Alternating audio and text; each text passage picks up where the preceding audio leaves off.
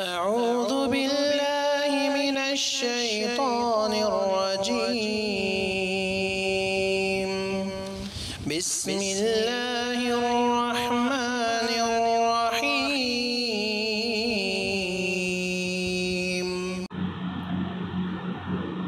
السلام عليكم ورحمة الله وبركاته.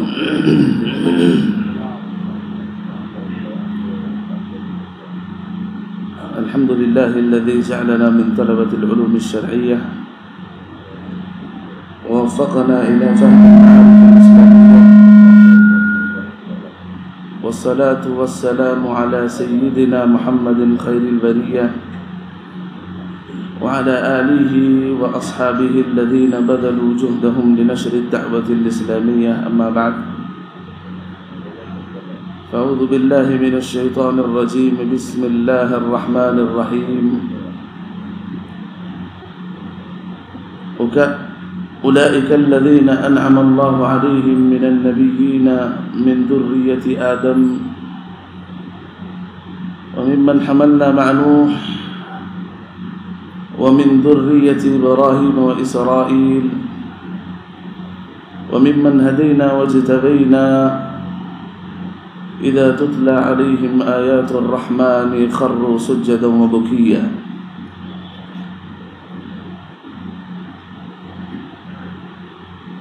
محترم و مکرم حضرات اور پردہ نشین خواتین اسلام سب سے پہلے ہم رب العالمین کا شکر ادا کرتے ہیں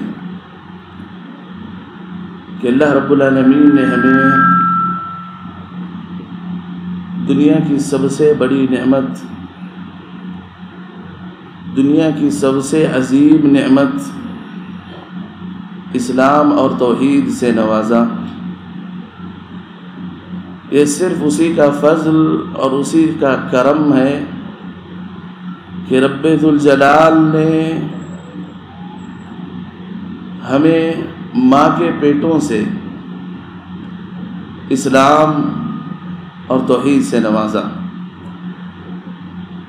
اس نعمت کا آپ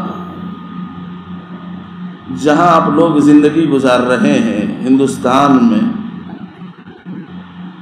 اس نعمت کا آپ بخوبی اندازہ لگا سکتے ہیں کہ جہاں پر ہر چمکتی چیز خدا بنی بیٹھی ہے۔ ہر شجر اور شجر اور حجر کے سامنے انسان جھکتے نظر آتے ہیں۔ ہر بت کے سامنے نظر و نیازیں پیش کی جا رہی ہیں۔ ایسے میں کیا بڑی نعمت نہیں کہ اللہ رب العالمین نے اس کی توفیق سے، اس کے فضل سے، اسی کے احسان سے ہمیں توحید نصیب فرمایا۔ بغیر مانگے کے، بغیر پوچھے کے ماں کے پیٹوں سے رب کی ربوبیت عطا کی، اللہ کی الوحیت عطا کی، اسی کے سامنے ہاتھ اٹھانے والا مسلمان بنایا، اسی کے سامنے آنسوں بہانے والا مسلمان بنایا۔ خوشی ہو یا غم، اسی کے سامنے سجدہ کرنے والا مسلمان بنایا۔ واللہ، یہ دنیا کی سب سے بڑی نعمت ہے۔ ابراہیم ابن ادہم رحمۃ اللہ علیہ کہتے ہیں کہ اے مسلمانوں، تمہارے پاس زندگی گزارنے کے کوئی بھی ذرائع نہ ہوں۔ کھانا نہیں، پانی نہیں، سر چھپانے کے لیے آپ کے پاس چھت نہیں، بدن ڈھانپنے کے لیے آپ کے پاس کپڑے نہیں۔ کوئی فکر مت کرو۔ ان سب کے نہ ہونے کے باوجود اگر تمہاری زندگی میں رب کی ربوبیت ہے، اللہ کی توحید ہے، تو سمجھو رب کائنات آپ کے ساتھ ہے۔ رب الجلال جو کائنات کو پالنے والا ہے، کائنات کے ذرے ذرے سے واقف ہے۔ کائنات کے سارے لوگوں کو کافر ہو یا مسلمان ان کے پیٹوں کو بھر رہا ہے، ہم اس کی عبادت کرنے والے ہیں۔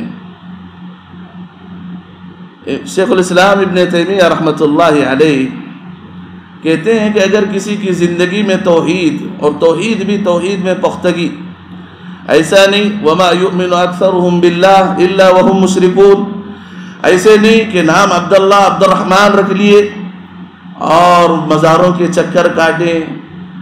بدعتوں میں مبتلا ہو جائیں غلطیوں میں مبتلا ہو جائیں نہیں، توحید دل میں راسخ ہو، توحید کے سچے شیدائی ہوں اور اس توحید پر رب سے مرنے کی بات کر رہے ہوں۔ تو شیخ الاسلام ابن تیمیہ رحمۃ اللہ علیہ کہتے ہیں کہ سمجھ لو کہ ایسے موحد کو رب العالمین جنت کی چابی دے دیتے ہیں۔ واللہ آخرت کی ہر خوشی ہمارے اس توحید سے وابستہ ہے۔ آخرت کی ہر خوشی، رب کی رضا، رب کی نعمتیں، رب کی خوشنودی، رب کی جنتیں، ساری یہ چیزیں ہماری اسی توحید سے لٹکی ہوئی ہے جڑی ہوئی ہے یاد رکھو، یہ توحید سب سے عظیم نعمت ہے۔ اللہ کا شکر ادا کریں۔ اگر آپ میں سے ہم میں اور آپ میں ہمارے دلوں میں توحید اگر راسخ ہے اور کوشش کریں کہ دل میں توحید کو بسائے رکھیں، فلا تموتن الا وانتم مسلمون۔ انبیاء علیہ الصلاۃ والسلام کی وصیتیں تھیں۔ انبیاء علیہ الصلاۃ والسلام کی وصیتیں تھیں اور انبیاء علیہ الصلاۃ والسلام رب کے حکم سے زندگی گزار رہے ہوتے ہیں۔ رب کی نگرانی میں وہ لوگ زندگی گزار رہے ہوتے ہیں، اپنی ذریت کو، اپنے آل و اولاد کو مرتے وقت یہ وصیت کر رہے ہیں کہ فلا تموتن الا وانتم مسلمون۔ اے میرے بچوں، تم اپنی زندگی کی نگرانی کرو کہ تمہیں ایسی موت، ایسی حالت میں آئے کہ تم مسلمان ہو۔ توحید تمہارے اندر ہو۔ اسلام پر تمہیں موت آئے، اس کی فکر کرو۔ اللہ رب العالمین نے کہا وَإِذْ تَأَذَّنَ رَبُّكُمْ لَإِن شَكَرْتُمْ لَأَزِيدَنَّكُمْ میں نے کہا کہ اللہ رب العالمین کی اس توحید پر شکر ادا کرو تو رب العالمین کہہ رہا ہے کہ شکر گزاری کرو، رب العالمین تمہیں نعمتیں بڑا چڑھا کر دیں گے۔ اسلام میں بڑھوتری کی بات کیا ہے؟ اسلام میں اضافے کی بات کیا ہے؟ مفسرین نے لکھا ہے کہ اسلام پر اگر انسان ہمیشہ شکر ادا کرتا ہے، ہاتھ اٹھے۔ ہاتھ اٹھے تو رب الجلال کے سامنے شکر ادا کرے کہ یا رب، ان بدھ پرستوں کے درمیان تو نے تیری وحدانیت ہمیں نصیب فرمائی۔ تیرے سامنے سجدہ کرنا تو ہمیں نصیب فرمایا، تیرا شکر ہے۔ مفسرین لکھتے ہیں اس شکر شکر گزاری کی وجہ سے رب العالمین ثابت قدمی عطا کرتے ہیں۔ اللہ اکبر۔ ثابت قدمی عطا کرتے ہیں۔ وما تدری نفس ماذا تکسب غدا وما تدری نفس بأي ارض تموت۔ کوئی بتا سکتا ہے کہ ہماری موت کیسے حالت میں آئے گی؟ کہاں آئے گی؟ کب آئے گی؟ بتا سکتا ہے۔ جب تمہیں معلوم نہیں موت کب آئے گی، کیسے آئے گی؟ کہاں آئے گی؟ رب کی توحید پر شکر ادا کرو۔ رب تمہیں ثابت قدمی عطا کریں گے اور اسی توحید پر تمہاری موت ہوگی۔ توحید پر شکر ادا کرو۔ یہ اللہ کی بہت بڑی نعمت ہے۔ اور میں پورے دعوے کے ساتھ کہہ سکتا ہوں، توحید کی سچی دعوت اور توحید پر ہمیشہ کی دعوت انہی ممبر و محراب سے دی جاتی ہے۔ ایسے ہی مسجدوں سے اس کی صدائیں نکلتی ہیں۔ محمد ابن عبد الوہاب محمد ابن عبد الوہاب رحمۃ اللہ علیہ، شیخ الاسلام، جنہوں نے مملکہ کو توحید سکھاتے سکھاتے، اور ماشاء اللہ اسی کا ثمرہ ہے۔ ہم نے مملکہ کے چھوٹے چھوٹے بچوں کو ان کے ہاتھوں میں کتاب و توحید کو دیکھا ہے۔ چھوٹے چھوٹے بچے، چھوٹے چھوٹے بچے۔ تو لہٰذا اس توحید کو دل میں راسخ کریں، توحید پر جم جائیں۔ اللہ کے رسول صلی اللہ علیہ وسلم معاذ ابن جبل رضی اللہ تعالیٰ عنہ کون ہے حلال اور حرام میں سب سے زیادہ علم رکھنے والے۔ اتنا ہی نہیں، معاذ ابن جبل، نبی آخر الزماں محمد مصطفیٰ صلی اللہ علیہ وسلم، جن کو رب العالمین اپنے دوست کا اعلان کرتا ہے۔ اللہ رب العالمین اللہ کے نبی کو خلیل کہتا ہے، دوست کہتا ہے، دوست۔ نبی سارے انبیاء کے سردار ہیں۔ معاذ ابن جبل رضی اللہ تعالیٰ عنہ کا ہاتھ پکڑتے ہیں، کہتے ہیں، یا معاذ، انی احبک۔ اللہ کے نبی صلاة ربی وسلامہ وبرکاتہ علیہ۔ صحابی سے کہتے ہیں، معاذ، میں تم سے محبت کرتا ہوں۔ محبت کا تقاضا یہ ہے۔ معاذ ابن جبل رضی اللہ تعالیٰ نے ایک دوسری حدیث میں سوال کرتے ہیں، اے اللہ کے نبی مجھے نصیحت کی یہ وصیت جی، کیجیے۔ معاذ بڑے قریبی صحابی، سفیر ہیں اللہ کے رسول کے، یمن کے۔ ان سے سوال، جب ان سے سوال آتا ہے اللہ کے نبی وصیت کیجیے اللہ کے نبی فرماتے ہیں، لا تشرک باللہ۔ لا تشرک باللہ۔ وَإِن قُتِّلْتَ أَوْ حُرِّقْتَ اے معاذ، تمہیں رب ذوالجلال رضی اللہ عنہ ورضو عنہ یہ جقب دے دیا ہے صحیح ہے۔ اے معاذ، حلال اور حرام میں تم علم رکھنے والے صحیح ہے۔ تم میرے خاص ہو میری محبت کے اقدار صحیح ہے۔ لیکن یاد رکھو، اللہ کے ساتھ کسی کو شریک نہ کرو۔ اگر ہم میں سے کوئی یہ کہے کہ بھائی صرف توحید کی بات کیوں ہے؟ یہاں نبی اپنے چہیتے سے یہ کہہ رہے ہیں کہ لا تشرک باللہ، یہی ہماری دعوت ہے۔ یہی ہماری دعوت ہے کہ ہم مرتے دم تک اسی توحید کی بات کرتے رہیں گے، رب کی ربوبیت کو پہنچاتے رہیں گے، اللہ کی الوحیت کو پہنچاتے رہیں گے۔ یہ نبی کا منہج ہے۔ یہ نبی کا طریقہ ہے۔ اللہ کے نبی نے معاذ سے کہا، اے معاذ، لا تشرک باللہ۔ اللہ کے ساتھ کسی کو شریک نہ ٹھہراؤ۔ وَإِن قُتِّلْتَ أَوْ حُرِّقْتَ۔ اگر اس توحید پر جمے رہنے سے تمہیں کاٹ کر ٹکڑے کیوں نہ کر دیا جائے؟ تمہیں جلا کر راک کیوں نہ کر دیا جائے؟ تم توحید کو نہ چھوڑو۔ واللہ، یہ بہت بڑی نعمت ہے۔ اللہ کا شکر ادا کریں۔ کہ اگر کسی کی زندگی میں توحید ہے، تو مرتے دم تک توحید پر اور سبحان اللہ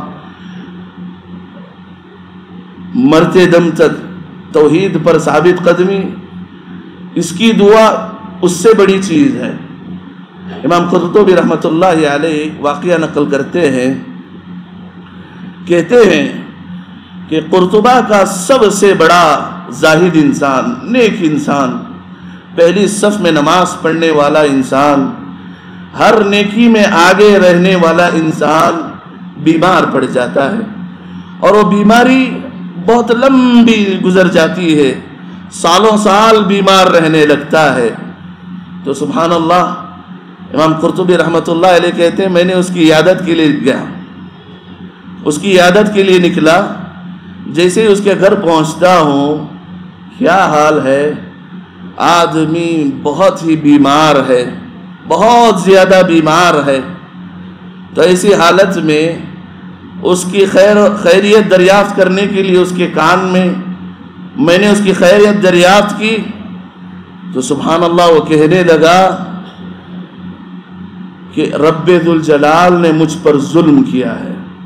بیماری کی حالت میں کہتا ہے کہ رب ذوالجلال نے مجھ پر ظلم کیا ہے کہ میں عابد تھا، میری نیکیاں اتنی تھیں، اس کے باوجود میرا میرا جو ہے، میری بیماری اتنی لمبی، سالوں سال مجھ سے میرے بچے بچھڑ گئے، تنگ آ کر میری بیوی چھوڑ دی۔ اللہ نے مجھ پر ظلم کیا۔ امام قردبی کہتے ہیں، یہ جملہ کہنا تھا کہ اس کی موت ہو گئی۔ یہ جملہ کہنا تھا، اس کی موت ہو گئی۔ کہتے ہیں اس کے بعد واللہ مرتے دم تک میں نے جب بھی ہاتھ اٹھائے اچھے خاتمے کی بات کی۔ حسن خاتمہ کی اللہ سے دعا کی۔ اچھی موت مانگتے ہوئے میں نے دعا ختم کی۔ یہ ضروری ہے۔ توحید پر رہتے ہوئے، توحید پر ثابت قدمی اور اچھے موت کی جو اللہ سے دعا۔ یہ ضروری چیزیں ہیں۔ حضرات، رب العالمین ہم گنہگاروں پر، ہم خطا کاروں پر اپنی مغفرت کے کئی ذرائع مہیا کرتا ہے۔ اللہ رب العالمین نے اپنا انٹروڈکشن جو کروایا ہے پہلے صورت سے، وہ یہی الحمد للہ رب العالمین الرحمن الرحیم۔ کہ رحمان الرحیم بندوں کے، گناہوں کے، بخشش کے ذرائع ڈھونڈتا ہے۔ سبحان اللہ۔ اللہ کے نبی صلی اللہ علیہ وسلم نے فرمایا، الصلوات الخمس والجمعة إلى الجمعة، ورمضان إلى رمضان كفارة لما بينهم ایک نماز دوسرے نماز کے درمیان کو کہ ان کے گناہ معاف کرواتی ہے۔ ایک جمعہ دوسرے جمعہ کے درمیان جو گناہ ہوتے ہیں، اس کے بخشش کا، مغفرت کا ذریعہ بنتے ہیں۔ ایک رمضان دوسرے رمضان کے درمیان جو گناہ ہوتے ہیں، اس کے بخشش کا ذریعہ بن، بنتے ہیں۔ نماز مغفرت کا ذریعہ ہے۔ جمعہ مغفرت کا ذریعہ ہے۔ رمضان مغفرت کے ذریعہ، مغفرت کا ذریعہ ہے۔ اگر کسی کی زندگی میں نماز نصیب ہو جائے، رب العالمین اس کی مغفرت چاہتے ہیں۔ جمعات نصیب ہو جائیں رب العالمین اس کے ساتھ خیر کا معاملہ کرتے ہیں، مغفرت چاہتے ہیں۔ رمضان کسی کی زندگی میں نصیب ہو جائے، رب العالمین اس سے مغفرت، اس سے جو ہے، اس کے ساتھ بھلائی کا ارادہ رکھتے ہیں۔ شیخ الاسلام ابن تیمیہ رحمۃ اللہ علیہ کہتے ہیں کہ کسی مسلمان جو توحید پرست ہو، خاص طور پر۔ توحید پرست جس کی زندگی میں نماز آئی گئی، جس کی زندگی میں جمعات آئے گئے، جس کی زندگی میں رمضان آیا گیا اور اس کی مغفرت نہیں ہوئی۔ مغفرت کے اتنے ذرائع رہنے کے باوجود رب رحمان اسے مغفرت نہ کرے اسے معاف نہ کر دے، جہنم کا وہ مستحق ہو جائے، تو سمجھ لو توحید پرستوں میں سب سے بڑا بد نصیب انسان وہ ہے۔ کہ رب رحمان اسے موقع دے دے کر، چانسز دے دے کر یہ چاہتا ہے کہ اے گنہگار بندے لوٹ جا۔ اللہ کے نبی نے کیا فرمایا؟ ایک انسان اللہ کے پاس شرمندہ ہو کر، شرمندہ ہو کر گناہ کر کے آنسو بہاتا ہے، ہاتھ اٹھا کے رب سے مغفرت طلب کرتا ہے۔ رب ذوالجلال کہتا ہے فرشتوں کے سامنے، اے فرشتوں کی جماعت دیکھو، اس بندے کو معلوم ہے کہ ایک رب موجود ہے۔ ایک اللہ موجود ہے جو اس کے گناہ معاف کرنے والا ہے، جو میرے پاس آ کر آنسو بہا رہا ہے۔ یاد رکھو، گواہ رہو، میں اس کے گناہوں کو معاف کرنے والا ہوں۔ یبن آدم، لو بلغت ذنوبک علان السماء۔ اللہ کے نبی نے فرمایا، اللہ کے نبی نے فرمایا، رب ذوالجلال کہتا ہے، اے انسانوں کی جماعت، اے توحید پرستوں، اے گنہگار انسانوں، اگر تمہارے گناہ آسمان تک پہنچ جائے، دوسری تفسیر میں، تمہارے گناہوں سے زمین بھر جائے، زمین ناکافی ہو کے وہ گناہ آسمان کی چھت کو چھو لے، دنیا بھر جائے۔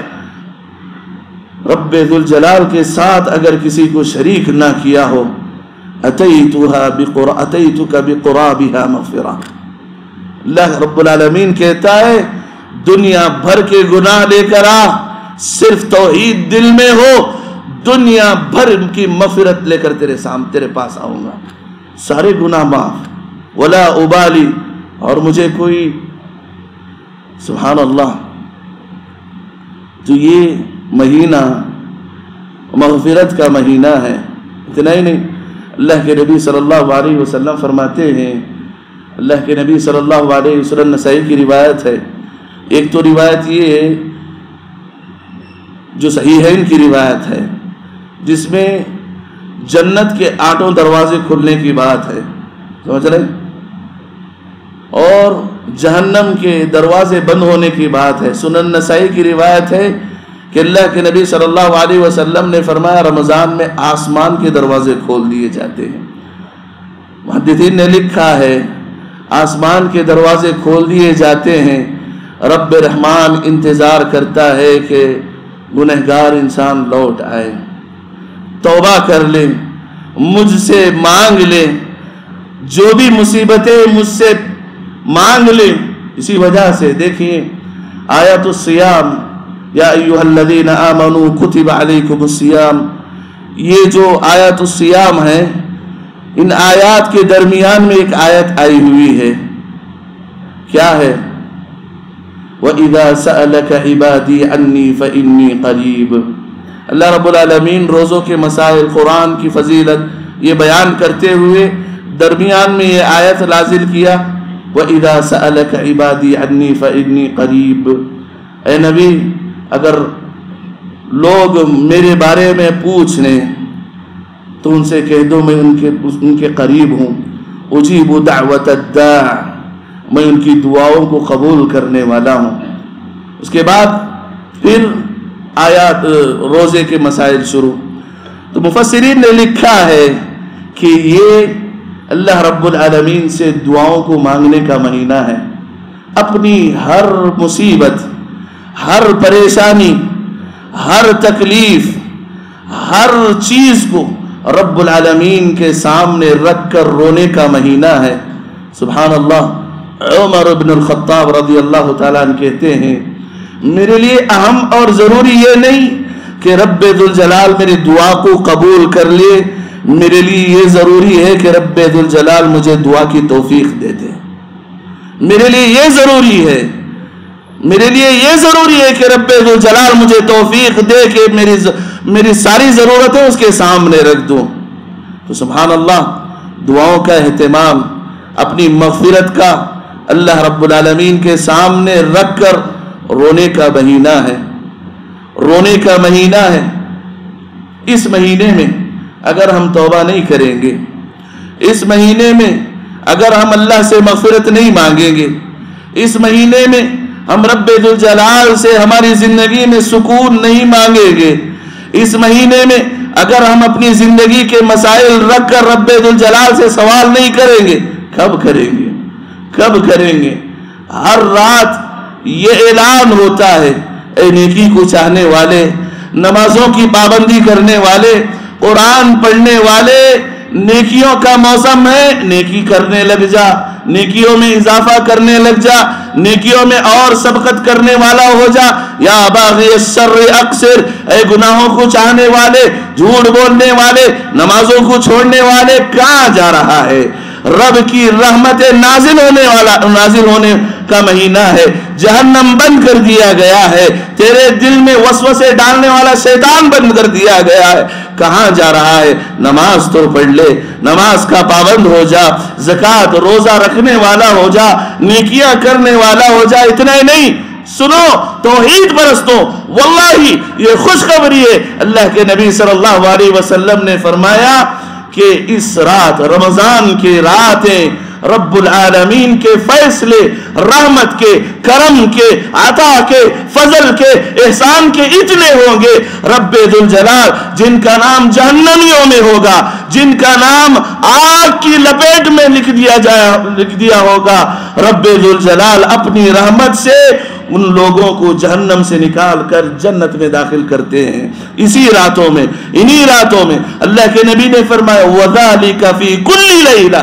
ہر رات رب کے خیر کے فیصلے ہوتے ہیں، رحم کے فیصلے رب کے ہر رات ہوتے ہیں۔ اے لوگوں، کب کب مغفرت طلب کرنا ہے؟ کب مغفرت طلب کرنا ہے؟ اگر آج ہماری مغفرت نہیں ہوگی، اس رمضان میں ہماری مغفرت نہیں ہوگی، ہم نے کتنے لوگوں کو اپنے کندھوں پر اٹھایا ہے، دفن کیا ہے، ہم نے کتنے قبروں کو دفن کر کے مٹی ڈالا ہے۔ اور یاد رکھو، رب ذوالجلال یہ جو موقع دیتے ہیں، اگر انسان آگے کرنے کی امید سے اگر چھوڑ دے، تو ایسا انسان، کامیاب انسان نہیں ہے۔ کامیاب انسان نہیں ہے، لہذا اللہ کے لیے، اللہ کے لیے اپنا محاسبہ کرے۔ مکمل رمضان ختم ہو چکا ہے۔ رب رب العالمین ایام محدودات۔ اللہ کہتا ہے، اللہ رب العالمین کہتا ہے کہ اے لوگوں، یہ جو ایام ہیں، گنے چنے ایام ہیں۔ گنے چنے ایسے ہی اڑ جائیں گے۔ صبح ہوئی، شام ہوئی، ایسے ہی گزر جائیں گے۔ تو ان ایام کو آپ غنیمت جانو۔ ان ایام کو غنیمت جانو واللہ اپنی زندگی کا کون سا مسئلہ نہیں رب کے سامنے سلجھنے والا نہیں، رب سننے والا نہیں، توحید کا واسطہ دے۔ اے رب ذوالجلال، ہم نے سجدہ سیکھا ہے تو صرف تیرے سامنے۔ اے رب ذوالجلال، یہ سر جھکا ہے تو صرف تیرے سامنے۔ اے رب ذوالجلال، یہ جو ہاتھیں اٹھی ہے صرف تیرے سامنے۔ اے رب ذوالجلال، یہ جو آنسو ہیں صرف تیرے سامنے۔ تو ہماری حاجتیں مکمل کر۔ اللہ سے مانگنے سلف کہا کرتے تھے؟ اللہ رب العالمین سے ہم نمک بھی ہو جاتا، رب سے مانگتے تھے۔ جوتے کا تسمیہ ٹوٹتا، رب سے مانگتے تھے۔ اللہ سے مانگے۔ اور یاد رکھو، یہ بہترین موقع ہے اپنی زندگی کو بدلنے کا۔ کوشش کرے، رب سے دعا کرے۔ رب العالمین زندگیوں کو بدلنے والا ہے۔ لوگ روتے ہیں، فلاں حکومت آنے والی ہے۔ فلاں حکومت آ جائے گی۔ فلاں، کیا ہے؟ آپ کے پاس رب العالمین ہے۔ رب رحمان ہے۔ ارحم الراحمین ہے۔ خالق السماوات والارض ہے۔ رب رحمان تمہارے ہاتھ میں، رب رحمان توحید تمہارے پاس ہے۔ مانگ کر تو دیکھیں، رب سے مانگ کر مانگ کر تو دیکھیں، رب ذوالجلال ہماری ہر حاجت کو پورا کرنے والا ہوتا ہے۔ دیر سے ہی، لیکن رب العالمین ہماری آواز کو ضرور سنے گا۔ ذرات اسی طرح یہ جو آخری ایام جو چلے جا رہے ہیں، پتہ نہیں سات دن یا آٹھ دن باقی ہیں۔ ان ایام میں میں آپ کو خصوصیت کے ساتھ ایک چیز کی دعوت دیتا ہوں۔ ایک چیز، کئی ساری چیزیں سوچ کر آیا تھا۔ میں صرف ایک چیز پر اکتفا کرتا ہوں۔ کہ وہ جو راتیں ہیں بڑی عظیم راتیں ہیں۔ بڑی عظیم راتیں ہیں۔ اللہ کے نبی صلی اللہ علیہ وسلم کے بارے میں آتا ہے شد ذرا اللہ کے نبی صلی اللہ علیہ وسلم اپنے اہل و عیال سے الگ ہو جاتے تھے۔ اپنے اہل و عیال کے گھر میں جا کر دستک دیتے تھے کہ خیر کا عشرہ آ گیا ہے، نیکیوں کا عشرہ آ گیا ہے، اٹھو عبادت کرو۔ یعنی کہ جتنا آپ عبادت کر سکتے تھے، اپنی عبادت میں ڈبل یعنی اس سے ڈبل عبادت کرنے کی کوشش کرتے تھے اور کوشش کرتے تھے اللہ کے نبی صلی اللہ علیہ وسلم۔ تو دیکھیے، ایک جو عظیم چیز ہماری زندگیوں سے جو رخصت ہو رہی ہے، اور میں کہتا ہوں کہ ان دس دنوں میں دس نے تین، سات دن باقی ہیں، اس کو اپنی زندگی میں لانے کی کوشش کریں۔ وہ کیا ہے خلوت کے آنسوں خلوت کے آنسوں پتا نہیں۔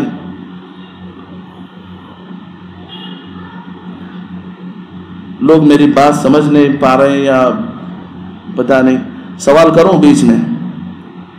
میں یہ انعام کے لیے لے لے کر آیا ہوں۔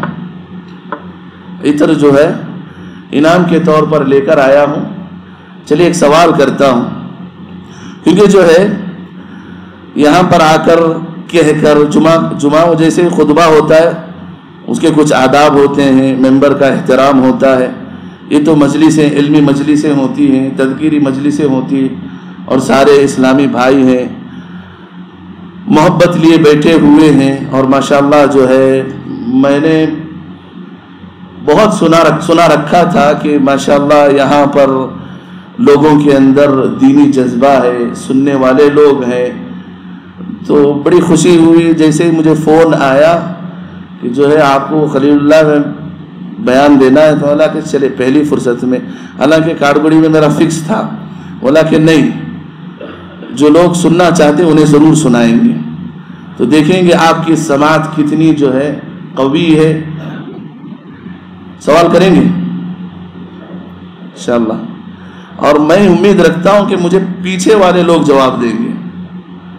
پیچھے والے لوگ مجھے اکثر پسند ہیں، کیونکہ جو ہے وہ آرام سے بھی بیٹھے ہوئے ہیں اور سننے میں بھی آسان ہوتی ہے، آسانی ہوتی ہے۔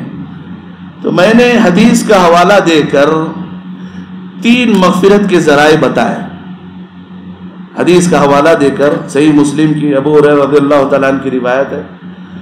تین مغفرت کے ذرائع یعنی گناہوں کے بخشش کے ذرائع بتائے کوئی بتا سکتا ہے؟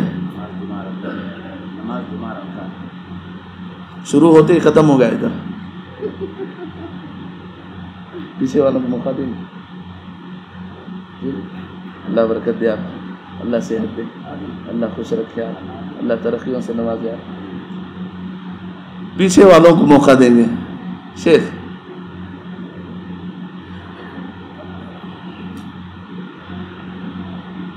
جی آئیں شیخ آئیں آئیں آپ مستحق تھے آپ مستحق تھے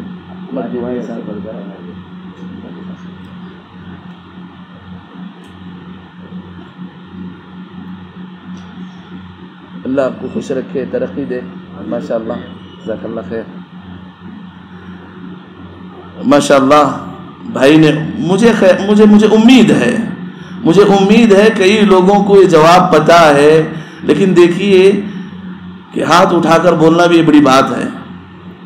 دل میں ایک چیز رہتی ہے کہ کیسے بتائیں گے، کوئی لوگ کچھ کہیں گے، کوئی لوگ۔ اکثر لوگوں کو یہ علم ہوگا۔ خیر، اللہ رب العالمین جزا خیر دے، برکت دے۔ بھائی بھی جو ہے پہلے جواب دے دیے تھے۔ اللہ انہیں خوش رکھے، آباد رکھے۔ خیر اور برکت ان کی زندگی میں عطا کرے تو بس یہ جو ہے ذہن ادھر ادھر نہ ہو، تو آپ کو جمع کرنے کے لیے جو ہے یہ جو ہے بات کر دیا۔ تو ایک جو عشر آخر میں، آخری عشرے میں جو کرنے کا ایک ضروری کام، ہم لوگ جو ہے روزہ رکھ رہے ہیں، الحمدللہ، صدقہ و خیرات بھی الحمدللہ کر رہے ہیں، نماز بھی پڑھ رہے خیر و کا، خیر کے کام میں بھی آگے بڑھ رہے تو ایک خیر کا کام جو اکثر لوگ اسے بھولے ہوئے ہیں، اس کو ذکر کرتا ہوں۔ رب رب العالمین کہتا ہے، اذا تتلا علیہم آیات الرحمن خروا سجدا و بکیا توحید پرست مومن لوگ جن کی زندگیوں میں ایمان ہوتا ہے، جب ان کے پاس، ان کے سامنے اللہ رب العالمین کی آیتیں پڑھی جاتی ہیں۔ تو وہ چہرے کے بل ٹڈیوں کے بل گر کر رونے لگتے ہیں۔ دیکھیے، اللہ رب العالمین کو یاد کر کے رونا۔ رب رحمان کی نعمتوں کو حاصل کرنے کے لیے رونا۔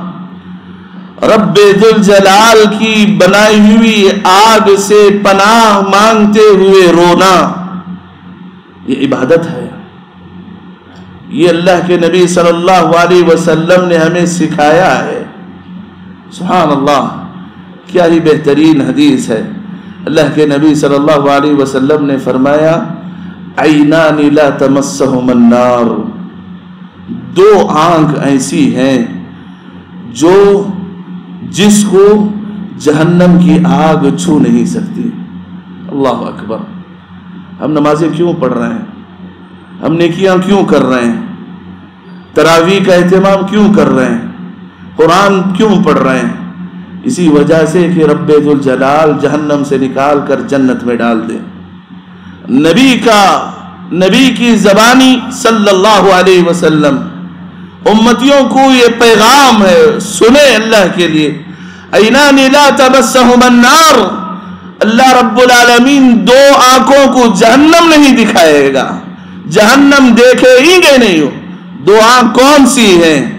سب سے پہلی وہ جو لوگوں کو لوگوں کی نگرانی کرتے ہوئے، جہاد میں لوگوں کی نگرانی کرتے ہوئے رات بتا دے۔ ایسی آگ، ایسے لوگ جہنم کی آگ نہیں دیکھیں گے۔ ایسی آنکھ جہنم کی آگ نہیں دیکھے گی۔ اور دوسری آنکھ وہ ہے، عین بکت من خشیت اللہ۔ وہ جو رب ذوالجلال کو یاد کر کے جہنم کو یاد کر کے اللہ کے لیے آنسو بہا دے۔ رب رحمان اس آنکھ پر جہنم کی آگ حرام کر دیتے۔ کیا کرنا ہے؟ کیا کرنا ہے؟ پہاڑ صدقہ کرنا ہے؟ نہیں۔ صرف اللہ کو یاد کر کے رونا ہے۔ چلیے۔ اللہ یاد نہیں آ رہا ہے۔ ہماری زندگی میں گناہ کتنے؟ سانس سانس میں گناہ ہے۔ منٹ منٹ ہماری زندگی میں گناہ ہے۔ گناہ کو یاد کر کے ہمارا حسر کیسا ہونے والا ہے؟ یاد کر کے روئیں۔ ہمارے آنکھوں کیوں سوکھ چکے ہیں؟ ابن القیم رحمت اللہ علیہ کہتے ہیں، ہمیں یہ دل جو سخت ہوئے جا رہا ہے، یہ دل رونے نہیں دیتا۔ اور یہ سختی ہمارے گناہ ہے۔ واللہ ہمارے گناہ ہیں جو ہمارے آنکھوں کو روکے رکھے ہوئے ہیں۔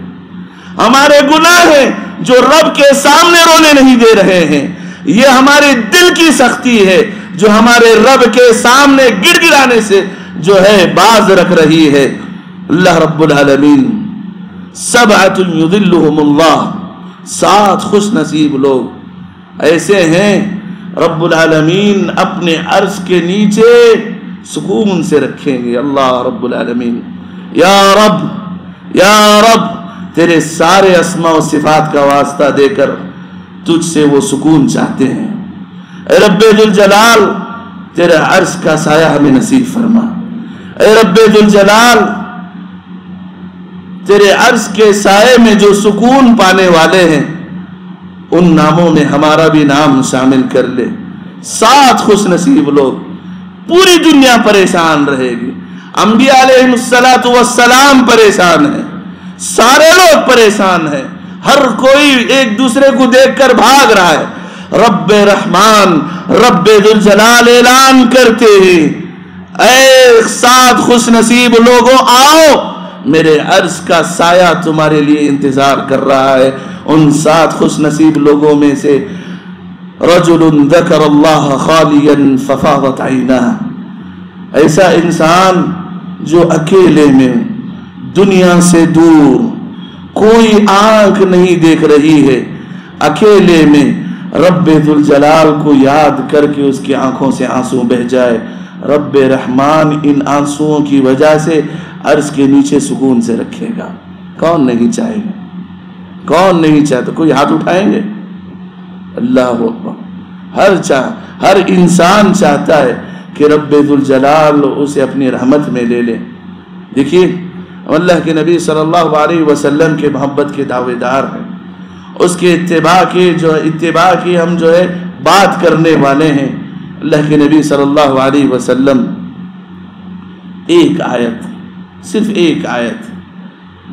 راوی حدیث کہتے ہیں، میں نے اللہ کے نبی صلی اللہ علیہ وسلم کو دیکھا کہ اللہ کے نبی صلی اللہ علیہ وسلم تحجد کے لیے کھڑے ہوئے ہیں۔ ایک ہی آیت تلاوت کر رہے ہیں، رو رہے ہیں، تلاوت کر رہے ہیں، رو رہے ہیں۔ پوری رات یہی کیفیت تھی۔ کون رو رہے ہیں؟ رب کا خلیل رو رہا ہے، نبیوں کا سردار رو رہا ہے۔ اللہ کے نبی، جن کی آنکھ اس دنیا میں بند ہو، جنت کے سارے دروازے ان کے استقبال میں کھول دیے جائے نبی رو رہا ہے، ایک آیت ان تعذبہم۔ فَإِنَّهُمْ عِبَادُكَ۔ نبی رو رہے ہیں، جن کے گناہ معاف ہیں۔ ہمارے آنسو کہاں گئے؟ جن کے سانس سانس میں گناہ ہے جن کی زندگی کا لمحہ لمحہ گناہ سے گزر رہا ہے۔ میری اور آپ کی بات کر رہا ہوں۔ ہمارے آنسو کہاں گئے؟ اللہ کے نبی رو رہے ہیں۔ ان تعذبہم فإنہم عبادک اے رب ذوالجلال، یہ تیری مخلوق ہے۔ یہ عاجز بندے ہیں۔ یہ کمزور ہیں۔ تو خالق ہے، یہ مخلوق ہے، کمزور ہے۔ اگر تو انہیں عذاب دینا چاہے، یہ تیرے بندے ہیں۔ کچھ بھی نہیں کر سکتے۔ کمزور ہیں۔ وَإِن تَغْفِرْ لَهُمْ فَإِنَّكَ أَنْتَ الْعَزِيزُ الْحَكِيمُ۔ رب الجلال اگر تو معافی پر اتر آئے، اگر تو معاف کرنا چاہے، ہم نے تجھے رحمان پایا، ہم نے تیرا نام رحیم پڑھا، ہم نے تجھے زبردست حکمت والا پایا۔ ایک آیت ایک آیت پڑھ رہے ہیں پوری رات، اللہ کے بندوں پوری رات، پورا قرآن ہمارے سامنے پڑھا جاتا ہے، ایک آنسو نہیں نکلتے، کیوں؟ کیوں؟ سب سے پہلے تو ہمیں قرآن سمجھ نہیں آتی، ہمیں قرآن سمجھ نہیں آتی، جب آتی بھی ہے، آتی بھی ہے، تو یہ دل رونے نہیں دیتا، یہ دل دل نہیں رونے دیتا۔ سبحان اللہ، عمر بن الخطاب رضی اللہ تعالی عنہ۔ فاروق هذه الأمة، عمر في الجنة، لو كان بعدي نبيا لكان عمر اے عمر، میرے بعد نبوت کا تاج کسی کو پہنایا جاتا اے عمر تم اہل تھے، تم مستحق تھے اے عمر تم جنتی ہو اے عمر میرے ساتھ اٹھائے جاؤ گے، یہ عمر کی حالت کیا ہے؟ ابن عباس رضی اللہ تعالیٰ عنہ کہتے ہیں، امام بخاری رحمۃ اللہ علیہ اپنے صحیح میں تعلیقاً اس کو ذکر کیا ہے۔ ابن عباس کہتے ہیں، عمر بن الخطاب رضی اللہ تعالیٰ عنہ مسجد نبوی کی مسلح پر، اللہ کے نبی صلی اللہ علیہ وسلم کے مسلح پر فجر کی نماز پڑھا رہے ہیں۔ فجر کی نماز پڑھا رہے ہیں۔ جب ان کی، ان کا گزر اس آیت پر ہوتا ہے انما اشکو بثی وحزنی اللہ اے رب ذوالجلال، میری مصیبت، میری پریشانی، میرا غم، اے رب رحمان، صرف تجھی کو سناتا ہوں۔ عمر اس آیت کی تلاوت کر رہے ہیں، رو رہے ہیں، آیت پڑھ رہے ہیں، رو رہے ہیں۔ آیت کو بار بار تکرار کے ساتھ پڑھ رہے ہیں، رو رہے ہیں۔ ابن عباس کہتے ہیں واللہ عمر نبی کے مسلح پر موجود ہے۔ میں مسجد نبوی کی آخری صف میں تھا۔ عمر کی سسکیاں مجھے سنائی دیتی تھی۔ عمر رو رہے ہیں۔ عمر رو رہے ہیں۔ جنتی صحابی رو رہے ہیں۔ فاروق الامہ رو رہے ہیں۔ ہمارے آنسو کہاں گئے؟ عثمان ابن عفان رضی اللہ تعالی اللہ کے نبی صلی اللہ علیہ وسلم نے فرمایا، اگر آج کے بعد عثمان ایک نیکی بھی نہ کرے، کوئی چیز انہیں نقصان نہیں پہنچا سکتی، جنتی ہیں۔ ابن حجر رحمت اللہ علیہ نے کہا کہ عثمان ابن عفان رضی اللہ تعالیٰ عنہ کیسے صحابی ہیں جن کو اس دنیا میں سب سے زیادہ اللہ کے نبی نے جنت کی بشارت سنائی۔ جنت کی بشارت، یا اللہ، مرنے کے بعد خوشیوں کی مرنے کے بعد رب کی رضا کی اسی دنیا میں۔ اللہ رب العالمین کی جنت کی خوشخبری اسی دنیا میں۔ عثمان ابن عفان قبر کو دیکھ کر رو رہے ہیں۔ عثمان ابن عفان قبر کو دیکھ کر رو رہے ہیں۔ اللہ کے لیے ہمارے دلوں کا جائزہ لیں۔ دلوں کا جائزہ لیں۔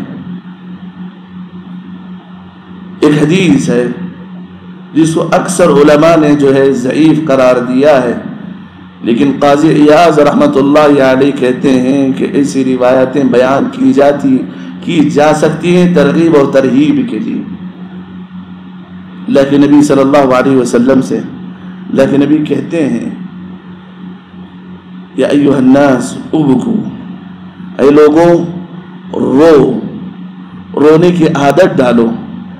اگر رونا نہیں آ رہا ہے، تو رونے کی کوشش تو کرو۔ رونے کی کوشش کرو۔ فَإِنَّ أَهْلَ النَّارِ سَيَبْكُونَ۔ یاد رکھو، جہنمی لوگ رونے والے ہیں۔ اے دنیا کے توحید پرستوں، گناہ ہوئے، بخشوا لو۔